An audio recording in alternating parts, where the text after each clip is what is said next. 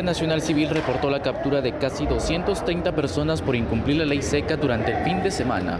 Jorge Aguilar, portavoz policial, mencionó que se consignaron a varias personas en operativos de despistolización y cumplimiento de la ley seca en el departamento de Jutiapa y Chiquimula, así como en Guatemala, quienes supuestamente consumían bebidas embriagantes en horarios no permitidos por el acuerdo que busca mitigar la propagación del COVID-19. Sin embargo, solo durante la jornada del sábado, en operativos realizados a nivel nacional, la Policía Nacional Civil detuvo a 167 personas, siempre por violar las normas de seguridad e incumplimiento a la ley seca.